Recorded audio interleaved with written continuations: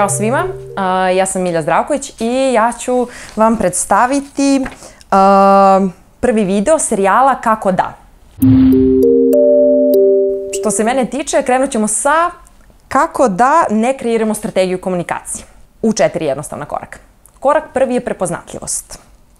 I od mene dobit ćete jedan uh, fail recept uh, koji je veoma lak. I kako da failujemo strategiju komunikacije? Pa jednostavno. Um, svi u timu organizacije se bave komunikacijom na svim kanalima, u više stilova, na različitim kanalima, na svim društvenim mrežama i svi odgovaraju na neke komentare koje organizacije dobijaju, pa čak i oni volonteri koji su samo tu i koji se nerviraju. Šta treba strogo izbegavati? Treba izbegavati plan komunikacije, raspodelu uloga u timu, ton i stil obraćanja, kao i korišćenje vizualnog identiteta i posebno treba izbegavati taj neki obrazac, odnosno ton u kom smo se obraćali u prethodnom periodu. Korak drugi. Izbor kanala za poruku.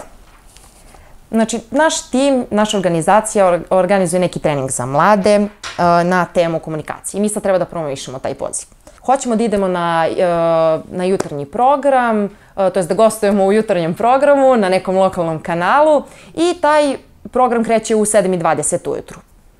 Mi smo uh, gostovali, uh, dopremili materijal koje smo pripremili i nakon završetka konkursa nismo dobili nikakvu prijevu. Šta ovde treba izbegavati?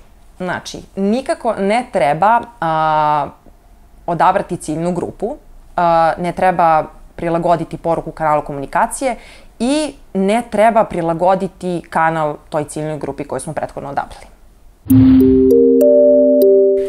Korak 3 jeste sama poruka. Znači, u prvoj rečenici te poruke obavezno koristimo uh, ime samog projekta, uh, jer svi treba da znaju kako se projekat zove. Uh, nakon toga se zahvaljujemo donatorima, sa na, našim saradnicima i nakon toga u pet i šest rečenica mi u stvari objašnjavamo o čemu se radi u našem projektu. Šta ovde izbegavati? Formu uh, u prvoj rečenici koja odgovara na pet pitanja. Ko, kad, gde, kako i zašto.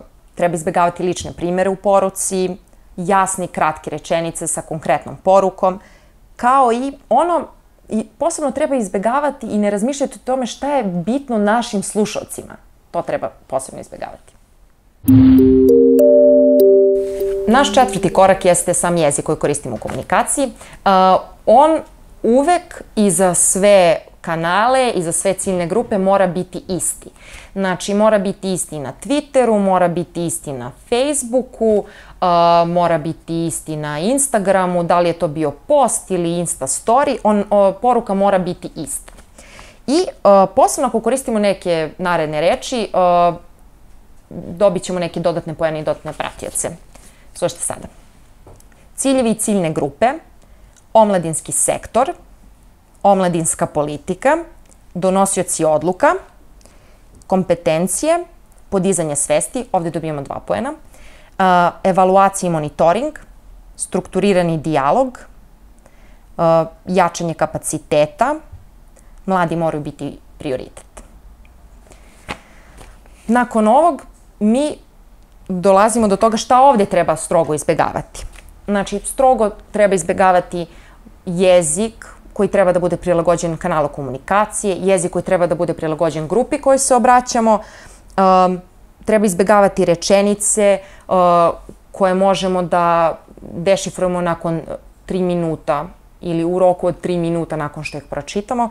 Um, takođe, treba izbegavati različite formulacije ovih poruka poruka uvek mora biti ista.